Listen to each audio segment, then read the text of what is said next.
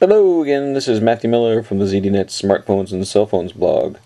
And as you've been able to see on my recent post, I'm now a BlackBerry Bold 9930 user, and just yesterday the AppWorld 3.0 update went live. So I just wanted to give you a walkthrough of that. So let's go ahead and start the new AppWorld. And uh, what you'll see here is that uh, the UI of the app world has changed significantly. So now we have a, a search button or search box always available up top. Uh, we've got this section down here that has, uh, I guess it's categories of uh, different apps that you can scroll through. And uh, I'm using the trackpad here just to get you a better view of what's going on. But as you can see, there's movie lovers, photo edition, and some other categories. So we jump back here to the beginning, we see road trip essentials. You select that and you'll see some apps such as Poynt, Slacker Radio, Drive Safely, a bunch of other travel kind of apps. If we go into here, BBM Connected. Now these are great because uh, BBM 6 uh, provided some integrated support uh, for BBM within applications, and as you can see here, here's what the developers have uh, the some of the apps that developers have integrated BBM into.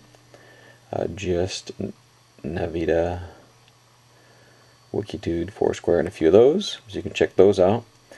And uh, if we jump down here, there's four main areas. The first one is games. If I select on games, you'll see it again we have a, kind of a highlighted featured area up top here. And then if we come down here, we can see that there's different categories of games. And we can slide, see top rated, new arrivals, top paid, and you can scroll through these lists. And, and this is helping me out a lot as a new BlackBerry user because I found before the lists and categories kind of restricted on uh, on helping me find apps, and I'm able to find plenty of apps now that uh, I'm using this new version of the App World. And so you can dive into, uh, say, card games, and again, you can see those card games. You can tap up here. You can see free, trial, paid items, or rated items. Come over here, see popular, app name, price. You can sort by different ways, right? So there's over here you can see there's a sort by and a filter. Two kind of different things there. And jump back out. go to apps. Again, this is like uh, similar to the games. You know, they have uh, categories here. You can see, come down here. Whoops.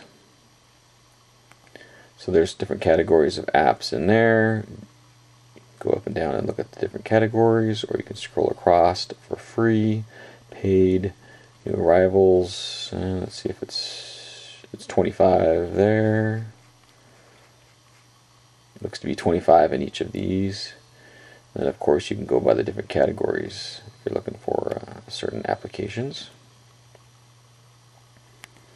And that's kind of the old look there, but then you bounce back in. And again, there's the different uh, sort and filter options available to you. You can also jump into My World, which will show you the apps you have installed and any updates. I've just performed some updates. So what will happen if you do have an update is there'll be a red uh, asterisk, asterisk up there, and it will to indicate that there are some apps that need to be updated in your list here. And if you scroll through, you can see my list of apps. You can come up here and see installed, uninstalled, upgrades, and subscriptions. And then over here you can uh, sort by app name or file size. And then on the top left you can always jump right back to App World Home. And then this last one is payment options. I'm not going to show it right now because uh, my information is in there, but it's either PayPal or credit card. Um, on my device, you may have carrier billing options on your device, but you can choose uh, your payment options in there as well.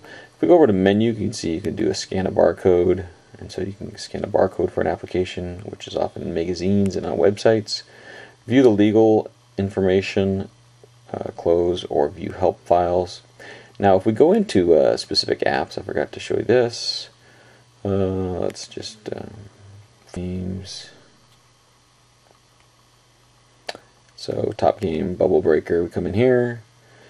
Now from in here you can see what we can do.